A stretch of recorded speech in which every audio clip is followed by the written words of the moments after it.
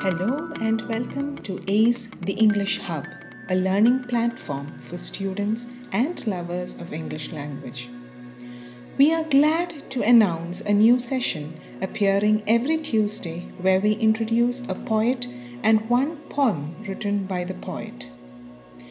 And today we have Margaret Eleanor Atwood, a Canadian poet who is also famous as a novelist literary critic, essayist, teacher, environmental activist, and inventor.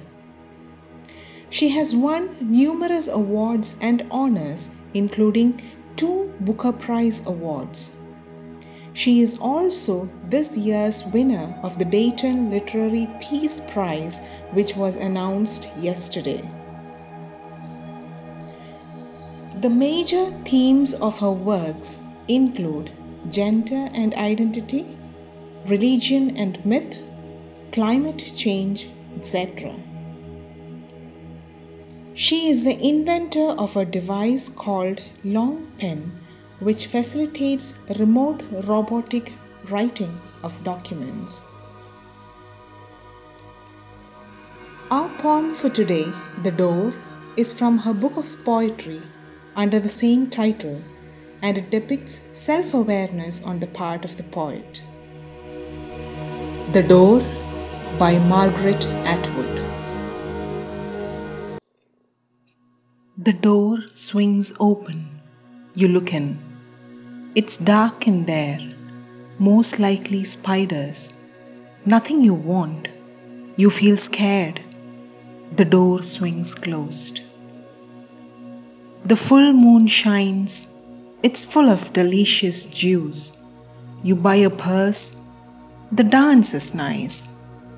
The door opens and swings closed so quickly you don't notice.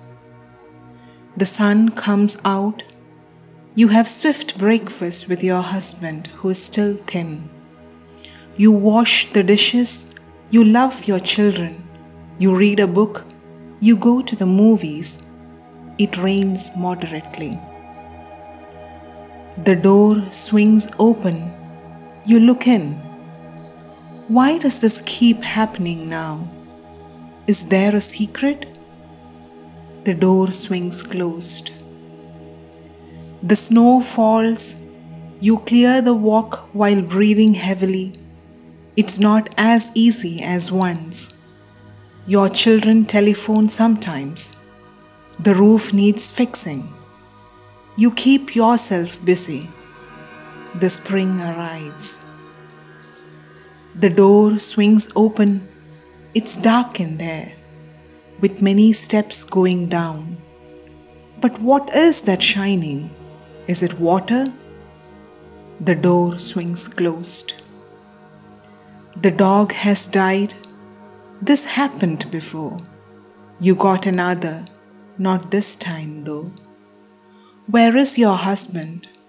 You gave up the garden. It became too much.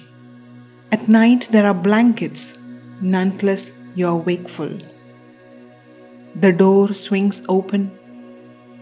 O God of hinges, God of long voyages, you have kept faith. It's dark in there. You confide yourself to the darkness, you step in. The door swings closed.